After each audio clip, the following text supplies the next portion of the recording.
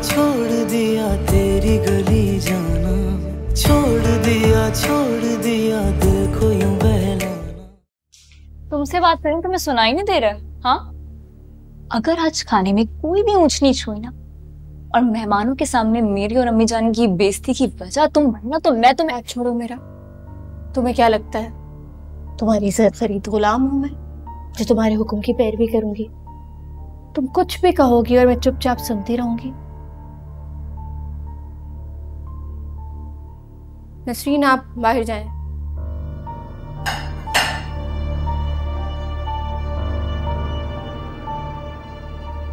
ये बेइज्जती बहुत भारी पड़ेगी तुम्हें। मैं अगर तुम्हारा सबके सामने लिहाज करती हूँ तुम कुछ भी करो कुछ भी कहो कुछ नहीं बोलती। इसका मतलब ये नहीं है कि मैं तुमसे डरती हूँ। डरती नहीं हो तुम मुझसे। मुकाबला करना चाहती हो तुम मेरा। हालाँकि तुम जानती हो कि मैं क्या कुछ कर सकती हूँ।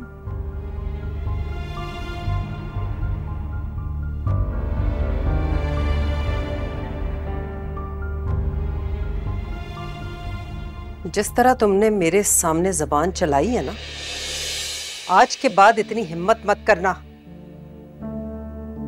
चूंटी के पर निकल आए तो जानती हो उसके साथ क्या होता है? उससे भी बुरा हशर करूँगी तुम्हारा मैं। आज बख्श रही हूँ। लेकिन आइंदा अगर मुझसे जबान चलाई तो छोड़ूँगी नहीं तुम्हें।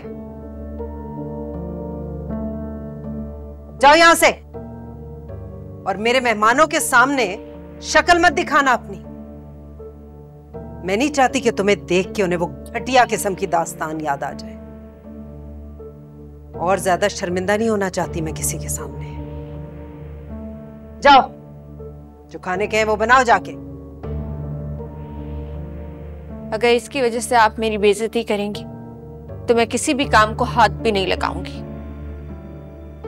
इसको देखने के लिए आपकी सहेलियाँ आ रही हैं ना? तो यही काम करे सारे।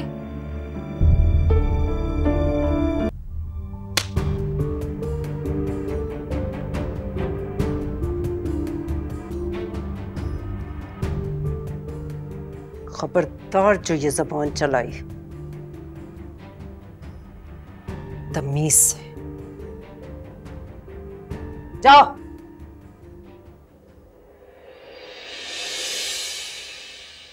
सुबह वाली डोज से पेट नहीं भरा तुम्हारा? और चाहिए? चाहिए तो बताओ। बुलाती हूँ तुम्हारी अम्मी जान को। हाँ बुला लो। लेकिन तुम तो निकलो यहाँ से। ये बात सुन। तुम इस घर की अनवांटेड बहू। और मैं वो हूँ जिसे इस घर की मालकिन खुद इज़्ज़त से शादी कर कर लाई। इसलिए तुम पर लाजिम है कि तुम हर वक्त हर किसी के सामने मुझसे इज़्ज़त से पेश आया करो समझ आई? तुम्हें अंदाज़ा नहीं है। मैं तुम्हारे साथ अभी वो कर सकती हूँ जो तुम सोच भी नहीं सकते। बकवास बंद करो। मैं तैयार होने के लिए जा रही हूँ।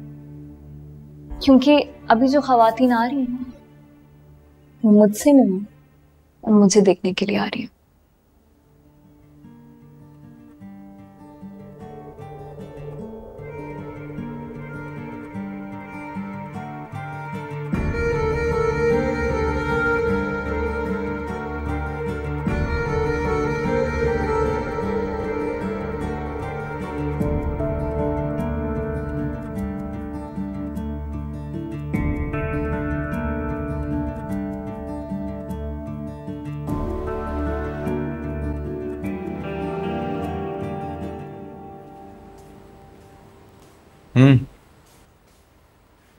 फ़ोन बज रहा है कब से? अननोन नंबर से कॉल आ रही है। जब भी मैं पिक करता हूँ तो कोई बात ही नहीं करता। तुम पिक करो शायद तुमसे बात करें।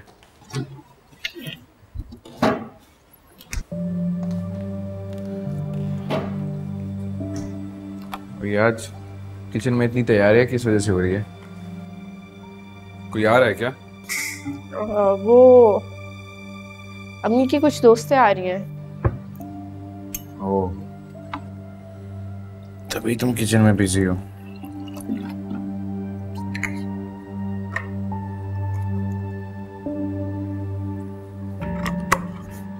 हम्म मैं कमरे में जा रहा हूँ।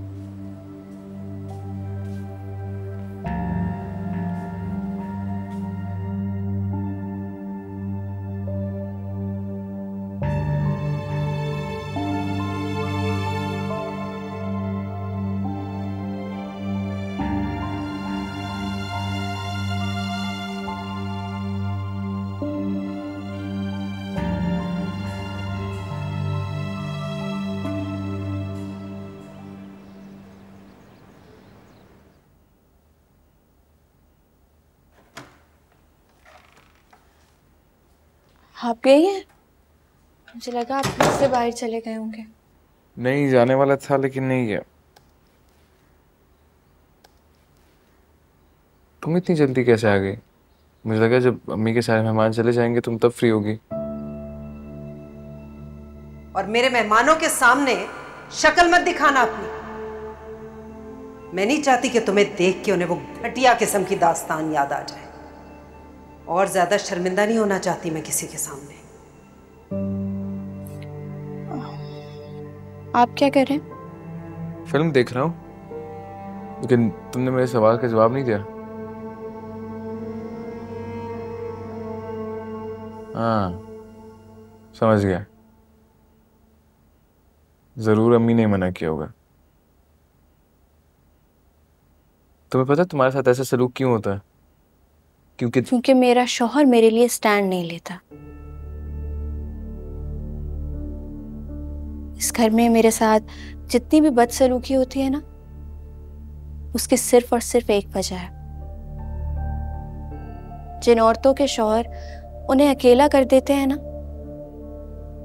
उनकी कभी भी कोई भी इज़्ज़त नहीं करता।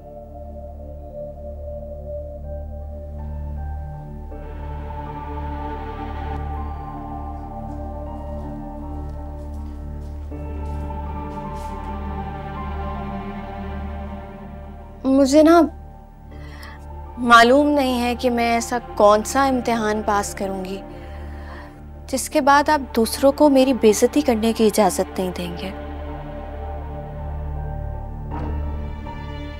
शायद ऐसा कभी भी ना हो। क्योंकि मोहब्बत तो दूर। आप मेरी इज़्ज़त भी नहीं करवा सकते। क्योंकि खुद आपकी नज़रों में मैं काबिल इज़्ज़त ही नहीं हूँ।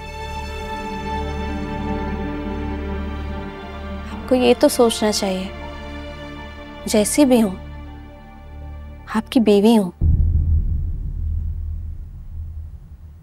मुझे ना समझ नहीं आता। कभी कभी आप ऐसे हो जाते हैं जैसे आपको मेरा बहुत ख्याल है। और दूसरे ही पल मुझे पराया कर देते हैं।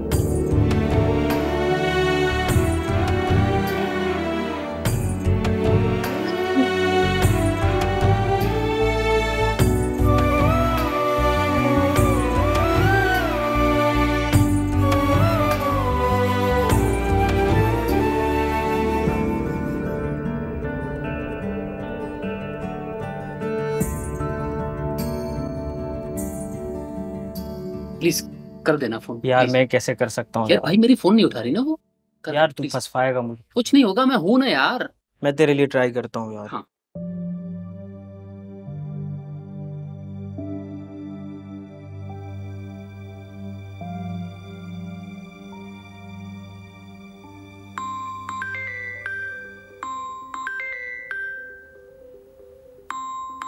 समीर तुम्हें कॉल आ रही है। समीन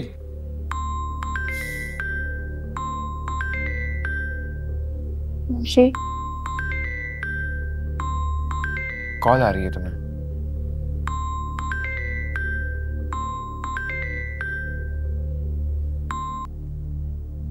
हेलो कौन? अस्सलाम वालेकुम। मैं ताहिर बोल रहा हूँ। कौन ताहिर? मैं किसी ताहिर को नहीं जानती। रॉन्ग नंबर आप समीन बोल रही हैं ना? देखिए प्लीज़ प्लीज़ प्लीज़ फ़ोन बंद मत कीजिएगा। मैं आरिफ का दोस्त बात कर रहा हूँ। आरिफ ने मैसेज दिया है कि वो आपसे मिलना चाहता है। मैंने कहा ना मैं आपको जानती नहीं हूँ। आप क्यों बोले जा रहे हैं? रॉन्ग नंबर है। देखिए प्लीज़ आप उससे बात कर लीजिए। हो सकता है वो आपके फ़ायदे की बात हो। हेलो हेलो कॉल काट दिया। एक काम नहीं हो सकता तेरे से मैं क्या कर सकता हूँ यार? तेरे सामने था जो भी हुआ। पता नहीं कौन है मैं कह भी रही हूँ रॉन्ग नंबर है फिर भी बोले जा रहे है। ठीक किस्म के लोग होते हैं। आ, आप चाय पियेंगे?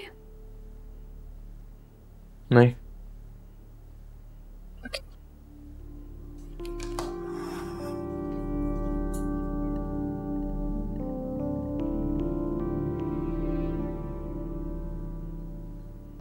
इसे तो बेवकूफ़ बनाना भी नहीं आता। इसे मुझे पता नहीं चला कि रॉन्ग नहीं था। जानता हूँ। कोई जानने वाला था। मुझसे इज़्ज़त, मोहब्बत का तकाजा करती है और खुद क्या कर रही है? मुझसे अपनी बातें छुपा रही है।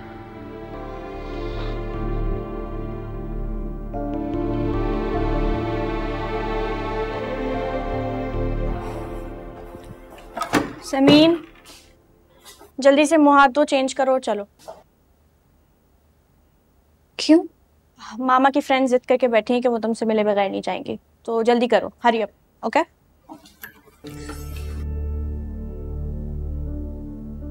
इसको मैं क्या कहूँ? समझती ही नहीं है कि एक बार का कहा तो असर करता ही नहीं है। पता नहीं कितनी बार कहना पड़ेगा।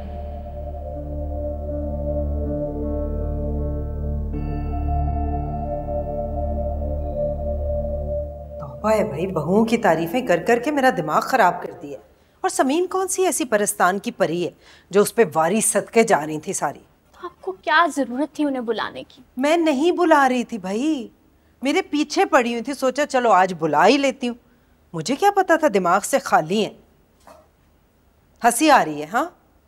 मेरे गुस्से पे हँसी आ रही है। छोड़े आप गुस्सा छोड़े चल कर चले कुछ ऑर्डर करते हैं मज़े का चल। लें ऑर्डर करते हैं कि बच्ची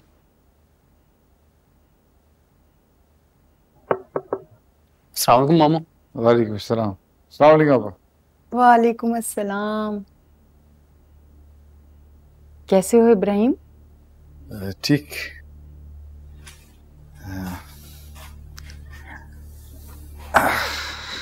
आपकी तबीयत कैसी है?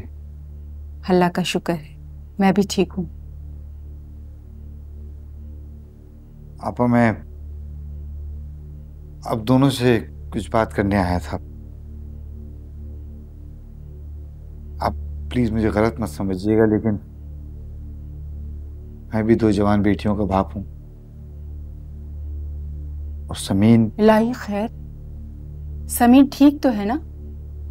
कोई बुरी खबर तो नहीं आई उसकी ससुराल से? नहीं नहीं वो बिल्कुल ठीक है अल्हम्दुलिल्लाह। ठीक ही होगी अपने घर में। उसकी माँ भी मुस्तकिल उसके लिए परेशान रहती है। और जब से आप लोग यहाँ रह रहे हैं उसने बिल्कुल ही आना जाना छोड़ दिया। है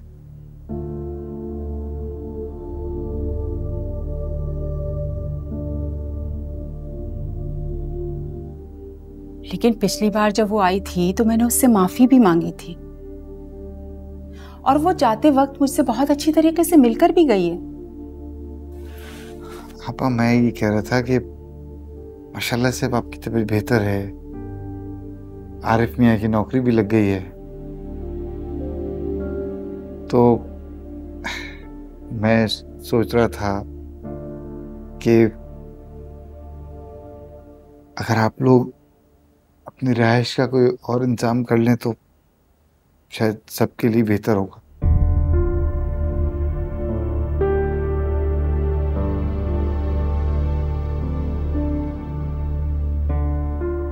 इब्राहिम, तुम हमें यहाँ से जाने का कह रहे हो? मैं सिर्फ़ आपसे एक गुजारिश कर रहा हूँ आपा रुक जाओ आरिफ हमेशा मुश्किल घड़ी में तुम पीठ दिखा के भाग खड़े होते हो। बंद करो ऐसा करना। बैठो आगे। सॉरी मम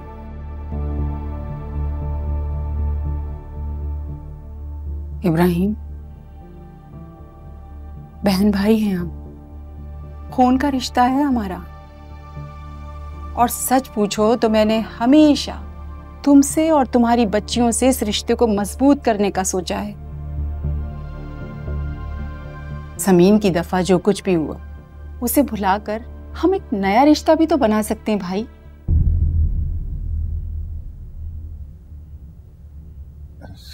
क्या मतलब? मैं समझा नहीं आपकी बात। छोटा मुँह और बात बड़ी हो जाएगी। लेकिन मैं जानती हूँ कि अब वो जल्दबाज और जज्बाती आरिफ नहीं रह गया। आप क्यों इतनी लंबी तमीदें बाँध रही हैं? साफ़ साफ़ बात करें ना क्या कहना चाह रही हैं? मैं ये कहना चाहती हूँ कि आरिफ को माफ़ कर दो और इसको अपना दामाद बना लो।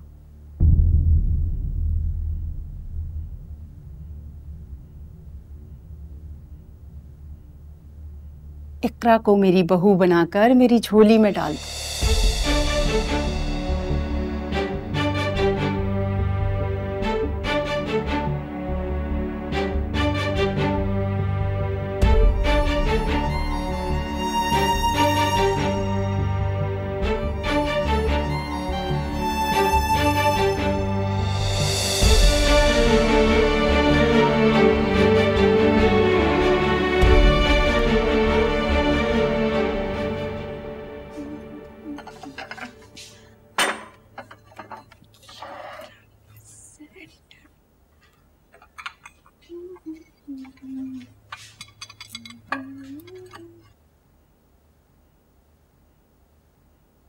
दो टके की मुफ़्त में खाना खाने वाली खवातीन की तारीफें सुन के इतना मुस्कुराने की ज़रूरत नहीं है।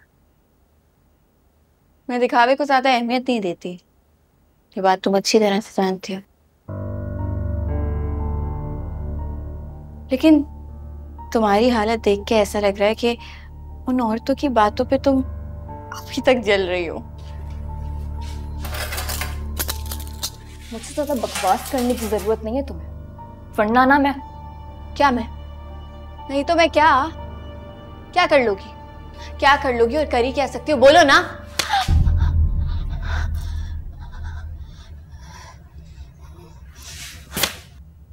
समीन क्या किया तुमने समीर? अगर तुम भूल गई हो तो मैं तुम्हें याद दिला दूँ कि ये मेरी बीवी है और तुमसे रिश्ते में बड़ी है। आपने मेरा देखा लेकिन आपने उसका नहीं देखा। उसने पहले थप्पड़ मारा था मुझे। झूठ बोल रही है असफन जब से मैं इस घर में आई हूँ ये ऐसे मुझसे बदतमीजी की जा रही है। अगर मैं झूठ बोल रही हूँ तो आप मेरे चेहरे को ही देख ले।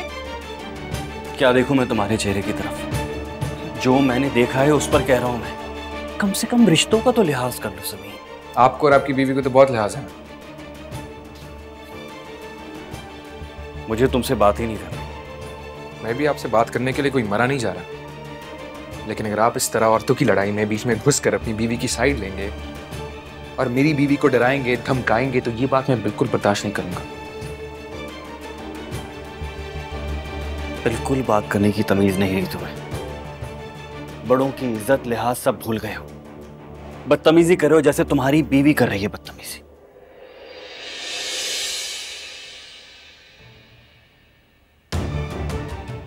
आप मुझे कुछ भी बोलेंगे मैं सुन लूँ। नहीं। क्या कर लोगे तुम? बोलो ना। क्या करोगे बताओ ना।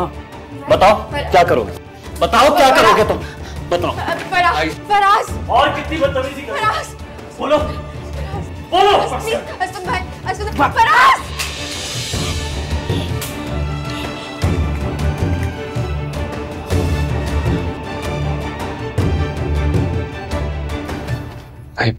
सॉरी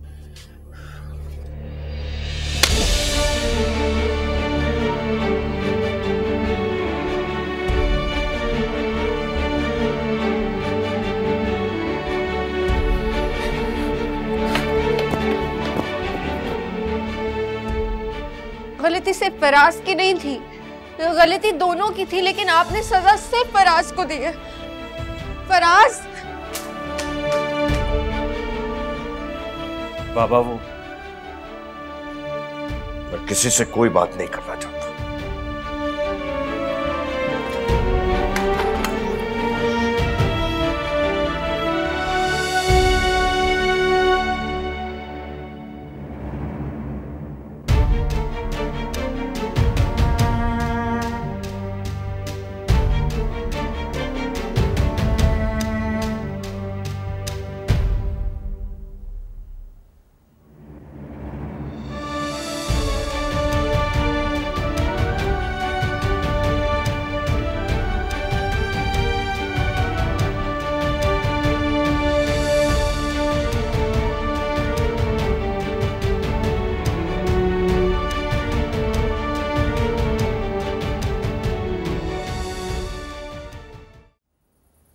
क्या?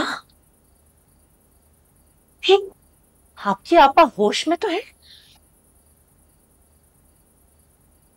उनके बेटे ने मेरी समीन के साथ क्या सलूक किया था? उसका एतबार नहीं किया। उसे मुश्किल वक्त में छोड़ के चला गया। अपनी कमज़ोरी की वजह से उसकी ज़िंदगी बर्बाद कर दी और अब अब उन माँ बेटी की नज़र मेरी इकरा पर है। भाई उन्होंने ऐसी बात की है कोई रिश्ता थोड़ी मांग लिया है। प्राइम दो दो बेटियों के बाप हैं आप। अब तो समझ जाए। इसको बात करना नहीं कहते सीधा सीधा रिश्ता मांगा है उन्होंने इकरा का। और वो आरिफ अपनी बुजदली की सजा मेरी बेटी को क्यों देना चाहता है? मेरी बेटी की ज़िंदगी क्यों बर्बाद करना चाहता है? उनकी उम्रों में फ़र्क देखा आपने? अच्छा ठीक है तुम इतना गुस्सा मत करो मैं मना कर दूँगा ना। मना कर दूँगा क्या होता है इब्राहिम?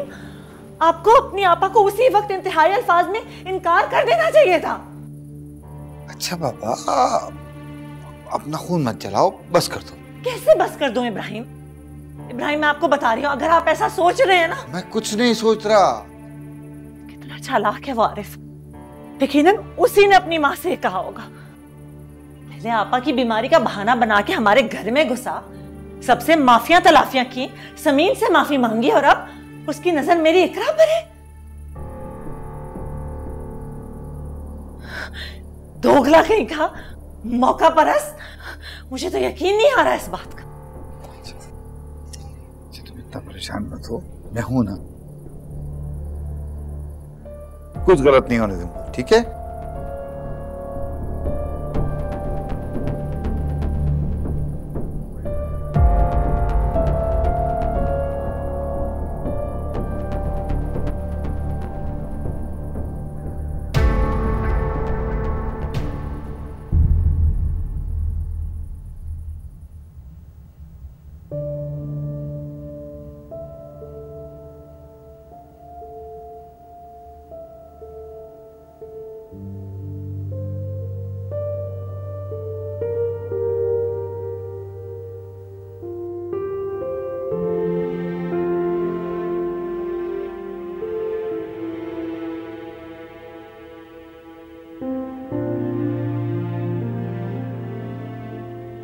मेरे साथ चाहे जैसा भी सलूक करते हैं। मगर आज जिस तरह से हरीम के सामने आपने मेरी साइड ली है, अपने बड़े भाई को खरी खरी सुनाई है।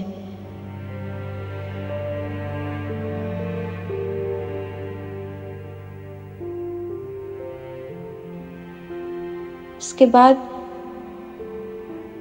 आप मेरी नज़रों में आपकी इज़्ज़त और आपका मुकाम पहले से ज़्यादा बुलंद हो गया है।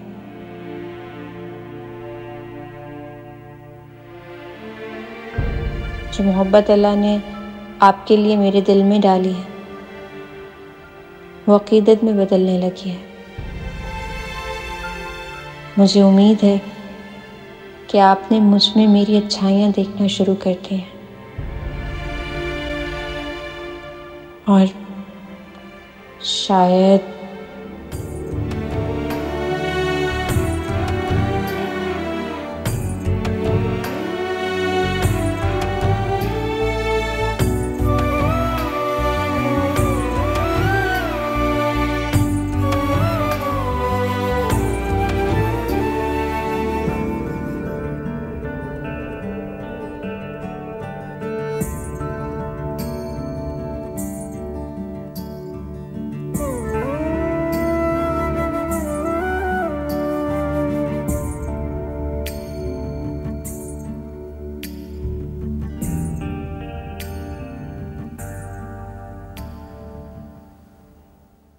क्या कहा उसने? वो मुझसे बात करेगी। उसने उसने कहा कि वो मुझे फ़ोन करेगी उसने खुद कहा। हाँ। अच्छा मैं तुमसे बाद में बात करता हूँ। आरिफ भाई। आपने ये सोचा भी कैसे? जो खेल आपने आप ही के साथ खेला है वही आप मेरे साथ भी खेल रहे हैं अब। इकरा तुम्हें कोई गलत फहमी हो गई है? चलो शाबाश नीचे जाओ प्लीज़ आपने तो अपनी और मेरी उम्र का भी लिहाज नहीं किया। मैं अपना बड़ा भाई समझती थी आपको। लेकिन आपने जब से आप ही को पीठ दिखाई है ना मैंने आपको भाई समझना भी छोड़ दिया है। तुम गलत समझ रही हो इकरा ऐसा कुछ नहीं है। मैं आपके सारे इरादे समझ रही हूँ आरिफ भाई। लेकिन आप मेरी एक बात सुन ले। छोटी हूँ मगर ना समझ नहीं। जो आप चाह रहे हैं वो कभी नहीं होगा। अरे मैं कुछ नहीं चाहता।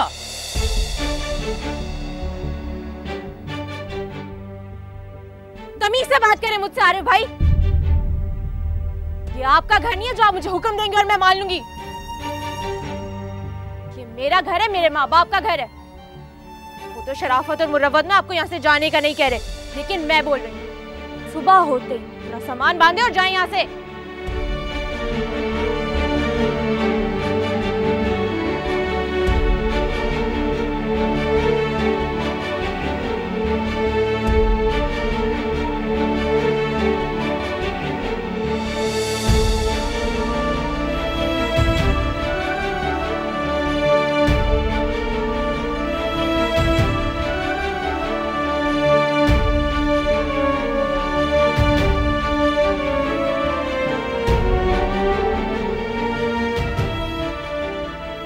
करा दिया ना बेइज्जत आपने।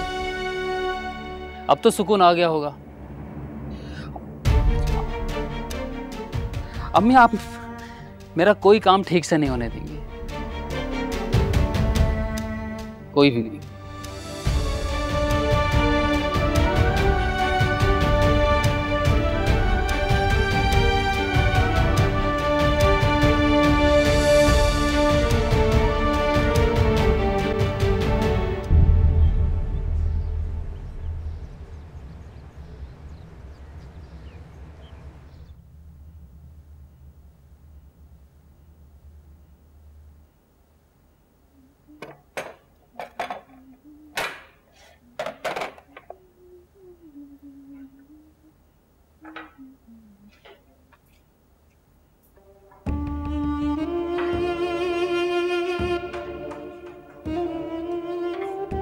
बहुत खुश नज़र आ रही हूँ। लगता है फराज ने कुछ ज़्यादा ही मुँह लगा लिया। इसलिए ऐसे नशे में झूम रही झूमने वाली बात भी है। एक बीवी को अपने शोहर से जो चाहिए होता है, वो कल फराज ने मुझे दे दिया। किस तरह से कल वो असवंत भाई के सामने मेरे लिए खड़े हुए हुए थे? देख के मेरा सर फखर से बुलंद हो गया। सही कह रही हो तुम। असफन की ये बात ना मुझे भी कुछ खास पसंद नहीं आई उन्हें ऐसे ओवर रिएक्ट नहीं करना चाहिए था। अब देखो ना, तुम्हारे और मेरे आपस का मामला था।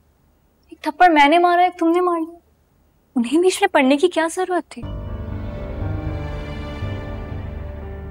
और फराज से तो ऐसे बिल्कुल भी नहीं झगड़ना चाहिए था उनको। तो पता है मैंने रूम में जाके उनको बहुत बातें सुनाई। कमरे में जाकर? जंगल में मोर नाचा किसने देखा? कल सबके सामने तो तुम उनकी साइड ले रही थी। हालाँकि गलती सरासर उनकी थी। तुम क्या चाहती हो मैं सबके सामने अपने शोहर की बेइज्जती करती? उन्हें बदगुमान करती अपने खिलाफ? तुमने मुझे बेवकूफ़ समझ रखा हुँ? ओ फराज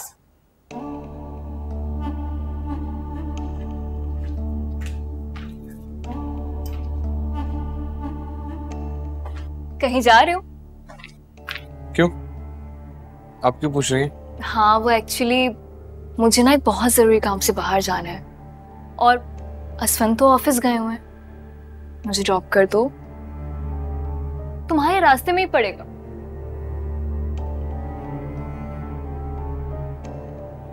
क्या सोच रहे हो? लड़ाई झगड़े हर घर में होते रहते उससे रिश्ते तो नहीं टूट जाते ना। प्लीज़ मैं अपना बैग लेके आती हूँ और हाँ मुझे तुमसे एक बहुत ज़रूरी बात भी करनी है। I'll be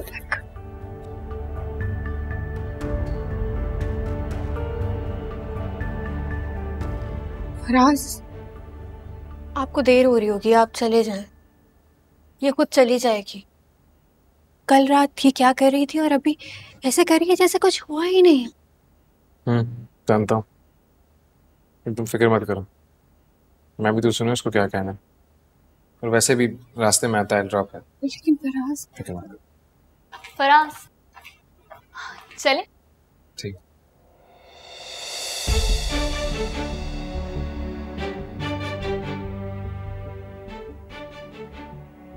अल्लाह हाफिज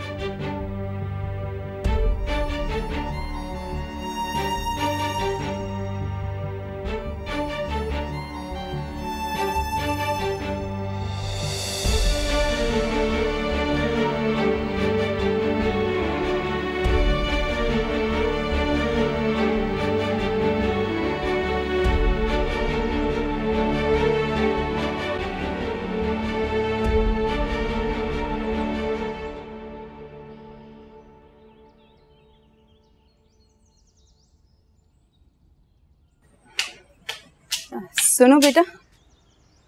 तुम्हारी माँ कहाँ है बेटा? मुझे उससे बात करनी है।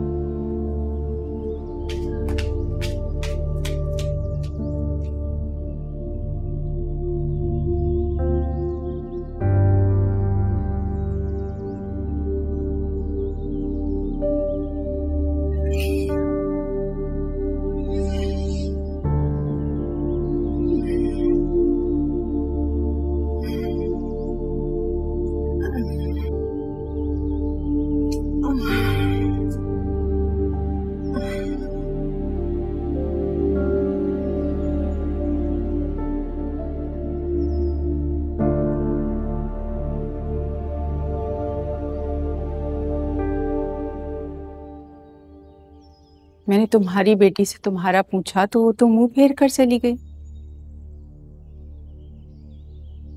मुझे तुमसे बात करनी थी। आइए बैठे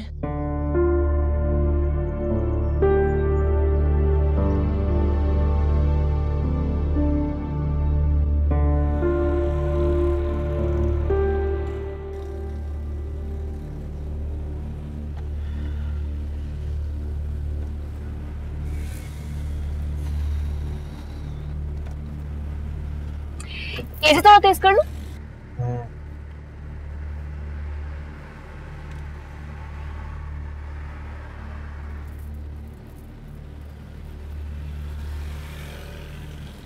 एक बात पूछूँ तुमसे? जी पूछे। सॉरी सॉरी पहले तो ये बताओ कि मेरा तुम्हें तुम कहना बुरा तो नहीं लगता ना? नहीं इट्स ओके फराज मेरी तरफ़ से अपना दिल साफ़ कर लो प्लीज़ असफन ने जो कुछ भी किया उन्हें ऐसा नहीं करना चाहिए था। मैंने कल रूम में जाके असफन को बहुत शर्मिंदा किया। बहुत गलत किया उन्होंने। छोड़ दे इस बात को जाने दे। रात की बात कही क्यों? तुम्हें असफन पे गुस्सा नहीं है? अगर मैं तुम्हारी जगह होती ना तो उसे कभी माफ़ ना करती।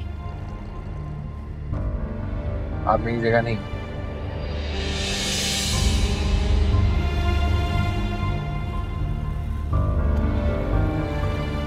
तुम्हारा दिल बहुत बड़ा है और असफन का बहुत छोटा कल जिस तरह तुमने सबके सामने समीन की साइड ली सबको ऐसा लग रहा था जैसे जैसे? क्या? जैसे तुम्हारे दिल में वाकई समीन के लिए जगह है। लेकिन मैं जानती हूँ, वो सब सिर्फ़ एक वक्ती और जज्बाती लम्हा था। है ना, तुम तो समीन को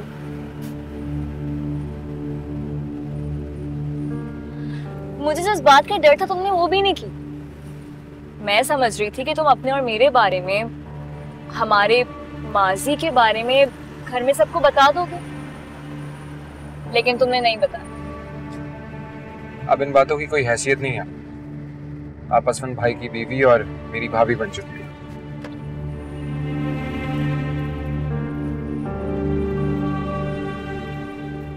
बहुत बड़े दिल के मालिक हो और एक बहुत अच्छे इंसान समीन और तुम में ज़मीन आसमान का फ़र्क है। तुम्हारी शादी किसी और ज़्यादा अच्छी लड़की से होनी चाहिए। समीन तुम्हें डिजर्व नहीं करती। ये आपके सोचने की बात नहीं है। लेकिन फराज समीन तुम्हारी ज़िंदगी में धोखे से शामिल हुई और धोखा करने वालों को उनके किए की सजा ज़रूर मिलनी चाहिए। आप सचमुच शॉपिंग करने के लिए मेरे साथ आई हैं या फिर मुझे समीन के खिलाफ भड़काने के लिए? तुम बहुत ब्लंट और अनप्रिडिक्टेबल तुम्हारी आँखें, तुम्हारा चेहरा, तुम्हारी बॉडी लैंग्वेज ये बात चीख चीख ही कह रही होती है कि तुम समीन के साथ खुश नहीं हो। और खुश रहना तो हम सबका हक है।